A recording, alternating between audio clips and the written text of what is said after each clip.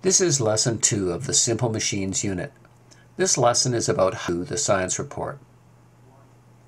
We will talk about the parts of the report and introduce the rubric that will help tell you what you need in your report. The parts of the report are listed here. The hypothesis or question, the materials, the method, the data table and diagram, other observations and errors, and the conclusions. Let's take a look at each of those. The question is what you want to find out. The hypothesis just means a guess about what you think will happen.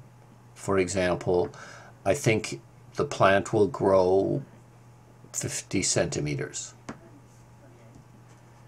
The materials is a specific list of what equipment and supplies you're going to use. You want to mention anything that's special and might make a difference in the experiment. For example, we're going to be using a spring scale.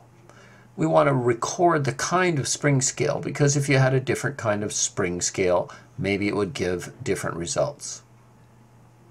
The purpose of listing this and of doing the method, which is next, is so that someone else could repeat exactly what you did and hopefully get exactly the same results that you did.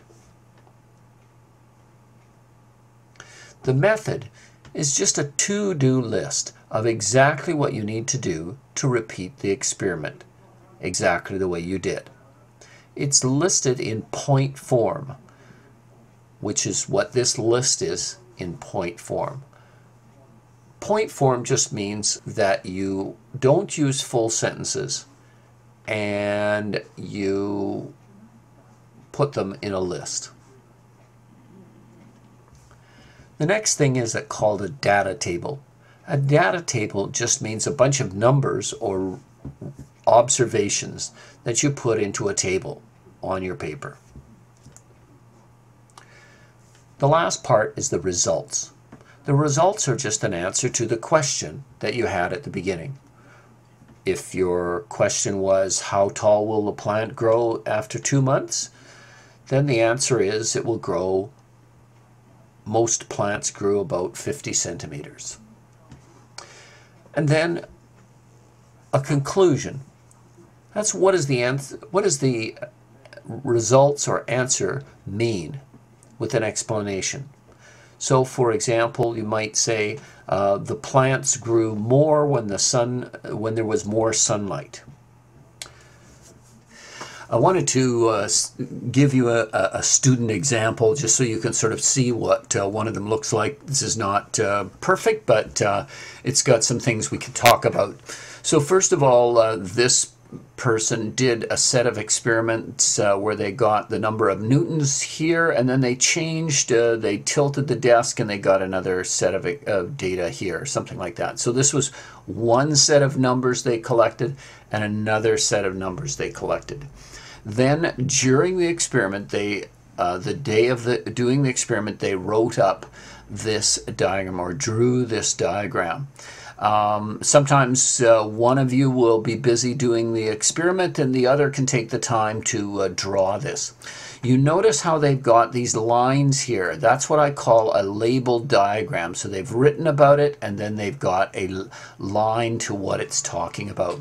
You notice also they've got two diagrams here, one uh, maybe on the side and one from the top or something, or one for the first uh, set of data and one for the second set of data. So uh, and notice it's pretty clear. You can see, uh, read everything and so on. So that's uh, kind of uh, something to work uh, towards in, in your diagrams. Um, here they have the method. Uh, usually you should be able to put one thing per line rather than, you can see they've got sort of number one, number two, number three, number four. Um, if you think you're going to run out of space, sure, that's totally fine, but you, um, you can try doing one step at a time as well. Um, the third thing is uh, this is these are the axes. You notice how it's written this way. This particular was uh, how many times that number came up. So, for example, here we found a two, so there'd be a two filled in, and so there was one, two, three, four, five, six, seven, eight, nine times the number two came up as a result. Okay, over in the other thing, there's quite a few different ones that filled in, and but looking at the graph, you can see, um, okay, it's pretty easy to tell here that uh, two newtons is the one that uh, came up, and over here it's kind of hard to tell, isn't it? This here, instead of saying result number, it should be whatever these numbers mean. So in this case, these are uh, these are two newtons. So this should say the number of newtons or the force in the uh, written in the number of newtons. Notice there's a title on here that explains what this, gra uh, this graph is. And you can see that they've also put both sets of data on this one graph, even if they've, they've split them apart like that. Finally, you can see up here there's errors, things I think I did wrong, things uh, that I think I could do to do a better job. And finally, what uh, conclusions. I found the force was this, or uh, I found the force increased by this much, or whatever you found as a conclusion. And just a hint about that, your conclusion should answer the question that's up in the hypothesis or question part, which is up, up here. It's not shown on this particular one. Okay, so take a look at this uh, to give you some help in uh, filling out the, um, the science report uh, correctly. All right, let's take a closer look at the um, conclusions and errors. Here you're going to put other observations and just write them out in point form um, at, about anything you noticed as you did the experiment or after when you were thinking about, about it. In this section, you're going to talk about errors. What, how would you improve the experiment? Did you do anything wrong that you do next time? You write about it in this section. And then finally, conclusions. First of all, you're going to answer the question that you had at the beginning. For example, you might say, it took a force of 4 newtons to move the envelope. So you'd write that in a sentence here. Or you might say, the envelope moved when there were less than 8 notebooks in it. And then write any other things that you think this tells us. So for example, you might say something like, uh, the envelope moved faster uh, on the desk if it was sloped. Now let's take a look at the rubric.